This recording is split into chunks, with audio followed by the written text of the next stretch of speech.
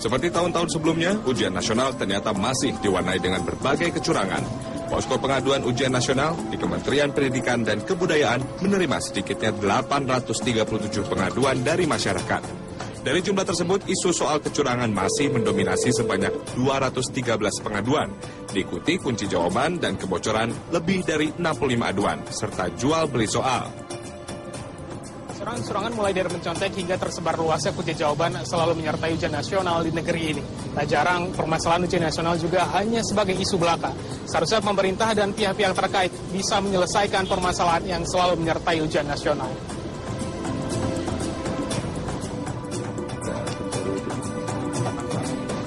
Pihak Kementerian Pendidikan berjanji, jika benar ada kecurangan yang dilakukan oleh oknum guru maupun sekolah, maka yang bersangkutan akan dikenakan sanksi, mulai dari mutasi, penundaan kenaikan pangkat, hingga pemberhentian secara tidak hormat.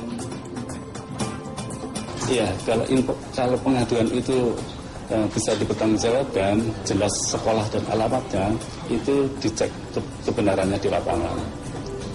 Jika memang itu terbukti melakukan kecurangan, tentu ada sanksi atau tindakan baik dari sekolah atau gurunya.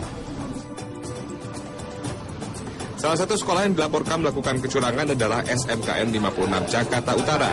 SMK unggulan di Jakarta Utara itu dilaporkan atas adanya kunci jawaban yang beredar. Atas laporan itu, pihak sekolah langsung membantahnya.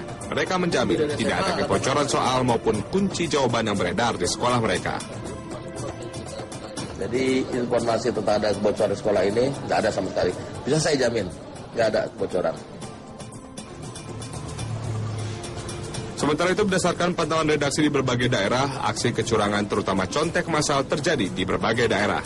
Pada hari terakhir ujian nasional di Bone, Sulawesi Selatan misalnya, sejumlah peserta ujian terlihat saling bertanya jawaban ujian. Selain aksi contek massal, di sejumlah tempat lainnya selama ujian berlangsung juga banyak diwarnai aksi curang. Mulai dari mencontek bocoran soal di handphone hingga membawa buku ke dalam ruang ujian. Ironisnya, semua itu seolah dibiarkan oleh para pengawas. Tim Liputan Trans 7.